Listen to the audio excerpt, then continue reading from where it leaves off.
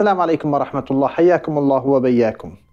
كان لأبي بكر مواقف خالدة في الدفاع عن رسول الله صلى الله عليه وسلم ورد أذى قريش عن النبي. ومن هذه المواقف أن رسول الله صلى الله عليه وسلم كان يصلي فقدم عليه عقبة ابن أبي معيط أحد كفار مكة وجعل يخنقه بردائه فدفعه أبو بكر عن النبي صلى الله عليه وسلم وصار يقول له أتقتلون رجلا؟ أن يقول ربي الله وقد جاءكم بالبينات من ربكم ومن الصحابة الذين شهدوا بشجاعة أبي بكر وبينوا أنه من أشجع الناس علي بن أبي طالب رضي الله عنه.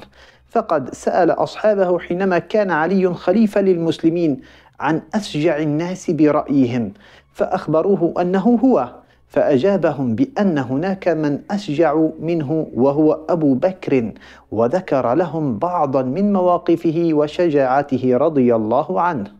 ومنها ما كان من أبي بكر رضي الله عنه في غزوة بدر حيث كان ملازما لرسول الله صلى الله عليه وسلم يخشى أن يصيبه المشركون بأي أذى فيقدم روحه دفاعا عن رسول الله صلى الله عليه وسلم وكان حاملا لسيفه يضرب به كل من يقترب من رسول الله صلى الله عليه وسلم يريد قتله أو النيل من رسول الله. ومن هذه المواقف أيضا ما حصل من قريش في أحد الأيام حيث جعلوا يتجاذبون رسول الله صلى الله عليه وسلم مستهزئين ويقولون له أنت الذي جعل الآلهة إلها واحدا فلم يجرؤ أن يقترب منه أحد من الصحابة إلا أبا بكر الذي دافع عنه وجعل يبعد المشركين عن رسول الله ويقول لهم ويلكم أتقتلون رجلا؟ أن يقول ربي الله جعلنا الله وإياكم